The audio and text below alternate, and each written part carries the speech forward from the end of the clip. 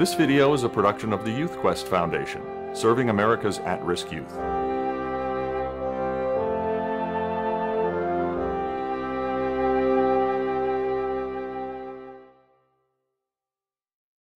Hi there, this is Tom Meeks of YouthQuest Foundation. Well, last year I had a ball at the Free State Challenge Academy. I loved working with the cadets, I loved working with the staff. This year we're going to expand our program, we're not only going to be at the Free State Challenge Academy, but we're also going to be at DC's Capital Guardian Challenge Academy. Now, this means that I have to split my time between the two locations. And sometimes you're going to be alone when students have problems and students have questions.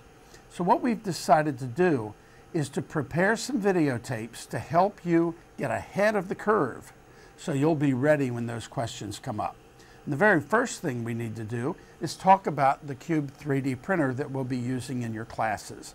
Each of you will have two 3D printers and they will be exactly the same colors, They'll work exactly the same ways. They're exactly the same kind of printer. But each of the printers is a unique individual printer that will have its own behavior. And sometimes we can have some issues with these printers, and I want to make sure that you understand what to do when those issues come up. So let me go through a few things. First, let's talk about the components of the 3D printer that you're going to be putting together we have the filament. This is the plastic that we actually use. We have a tube that goes between this cartridge and the filament goes into it that goes into the head or the print jet of the 3D printer.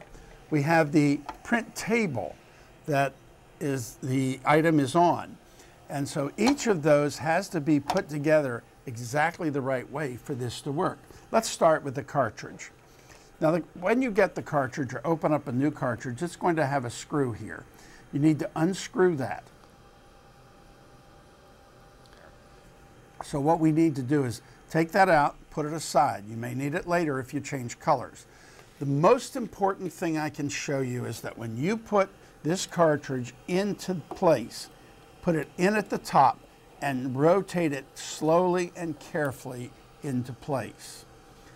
Now, there's a specific time when you do that, and we're going to be walking through that process right now.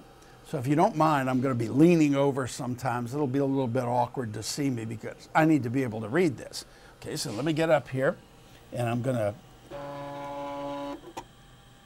I'm going to, what happens is I'm going to push load cartridge on the display after I turn the printer on. So I'm going to say load cartridge we're going to we'll leave this off.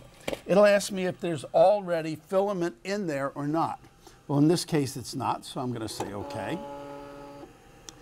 Then it's going to tell me that it's warming up. And the message says, remove the thumb screw. That's the screw I told you about. And then as soon as you've done that, there's a little arrow. You push that arrow. Now it says install the cartridge and this is where you slide that cartridge carefully into place like that, okay? Then reading the directions it says install the cartridge, then it says, okay, clip, clip the end of your cartridge. Now you really need to do this because if you have a bent end, it's going to go down in and not go in fully and could create a clog. So make sure you just take a pair of scissors or cutters and cut off the end. Okay? It says now thread the filament through this. We've done that. Okay. Insert the filament into the head. Now, there's a hole here, and I'm going to put the filament in here. And I'm just going to push it down very lightly what will happen is that this head will heat up and it will start pulling the filament down into the head. And as it does so, some filament is going to flow. And it takes a little time. But don't be impatient. Just very lightly press on it to make sure that it's going down in. You don't have to push hard, just very lightly. The filament is now starting to come down onto the print table. Just let it roll and it will finally stop. And when it's ready to go, it will tell you that it's ready to go to the next step. When that is done, you'll push this down flush here and you'll push this part of the tube down into the little hole in the cartridge. So by doing that, you now give a channel for the filament to flow. Just let it do its thing until it feels that it is ready to go. And then when it's ready, it'll go back to the end. See that? It was pretty easy, but it does take a little while. If you get that far, you do not have a clog. However, if you wait that long and you don't see it coming out, then you have a clog. If you have a clog, call me. I'll help you walk through it. Next step, um, we're going to take that little tab off just before we go to print, by the way. There'll always be a little bit of tab right there that will break off that, and we'll do that just before we print. The next step, and let me turn this around so you can see it better. I want to show you is the print table. The print table is held into place with a magnet. Sometimes if you go to put this in, it will not seat fully. Please, whatever you do, make sure that every time you put this print table in, you're in, work it back and forth, make sure it's level, make sure it's in place. Because if you don't do that, it's going to ruin your print gap, which I'll talk to you about in the next step. Well, the first thing you want to do, be careful doing this, I usually do that with pliers. I've broken off that little tip. The, the next thing that you want to do before you put any glue on this table is you want to gap the head. Again, it's going to look a little weird because I got to lean over to see what I'm doing. But you use a post-it note, but you do it in two steps. All right? So you go to Setup, go over to where it says Set Gap. Now, when you hit Set Gap, this is going to come up and this gap is way too tight. I can tell already. So this gap is no good. So what I'm going to do is I'm going to lower, there's arrows up and down. I'm going to lower the gap down and I'm going to go way beyond where I need to be. Okay, and I'm going to say, okay. Now what I did was I reset the gap, but I set it way low. And that's because it had already come up and hit the head. We don't want that to happen. So the first time, make sure you lower your gap to where you can see that there's a sizable gap. Now we're going to do that again, and this time we're going to use our paper. So I'm going to say set gap. It's going to go up to where it was before. All right, but this time I'm going to use this paper. I'm going to put this on here, and I'm going to slide this back and forth very carefully till I get some resistance right there. Can you hear that? There's some resistance. And I'm going to say, okay. Now, I've now set my gap correctly, which is the gap should be about the thickness of a post-it note. Now, the next step in the process is to prepare the plate for the glue. Now, this is cube stick. Be sure it says cube stick. If it says magic glue, that is a glue for the first generation 3D printer. You need to have the one that says cube stick. Now let me take this table off. And every time you clean this, I suggest you do this. Coat the entire table with a very, very, very thin coat of glue. Now when I say very thin, I mean thin please don't have a bunch of ridges. Now you're going to have some ridges when you start, but just keep working it out until it is really on there thinly, okay? Go back and forth, go in circles, go whatever it takes to get that glue a very, very thin coat, okay? There you go. Now, let that dry. And what that does, it's like putting sizing on a wall. It gives you a base coat of this glue that takes up any of the moisture that might be on this table when you washed it. Let it dry a little bit, but just before you go to print your piece, make sure you put another layer of glue on just in the area where you think that print is going to go. And use a circular motion and go out. Again, use a very thin layer of glue.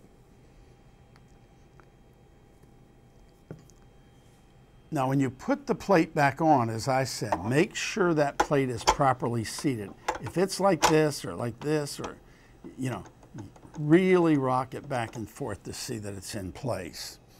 Now, when you go to print, and I'm not going to do that right now, when you go to print, make sure you watch that print start. If it moves around at all, then you need to abort that print right away, put some more glue on, get rid of the filament that's on there, put some more glue on, and then restart the print. Watch that first layer because that first layer is the most critical layer of your print.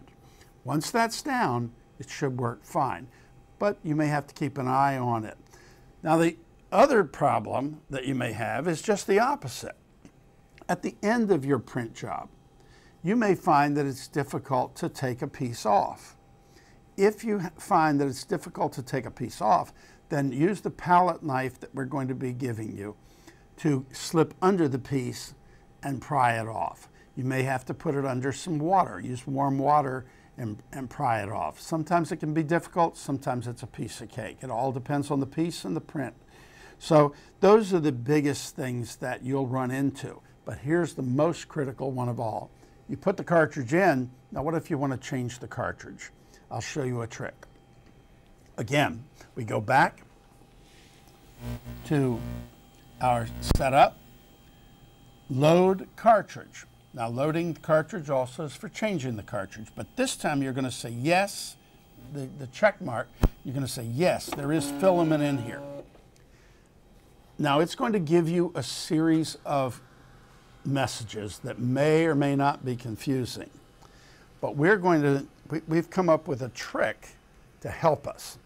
I'm going to use a magic marker and I'm going to mark the filament about a quarter inch or a half inch above the opening.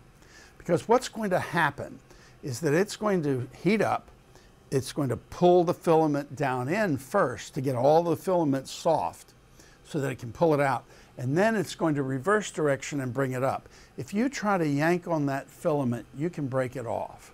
So we want to go with the flow. We want to go with the cube. Let's watch. Pull the cube's tube up, and that's this tube right here. Okay, now it's heating. And again, it takes a little time. In a minute, you'll see this black mark going down into the printer. In fact, it's going down in now. And you'll see filament coming out of the bottom.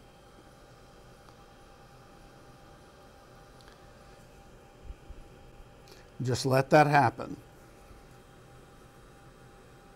And here's where we have to be patient. It's going to tell you to pull on that, but you don't want to pull on that until it's ready for you to pull it out.